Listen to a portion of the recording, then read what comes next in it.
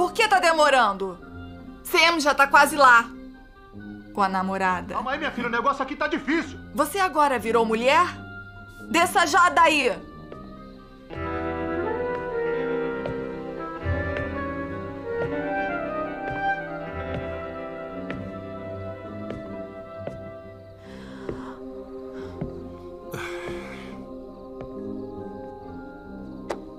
Vai, diz logo que eu tô ridículo.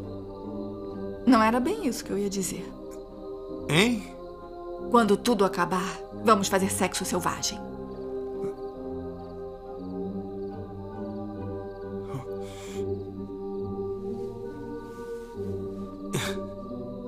Eu não sou homem objeto, não.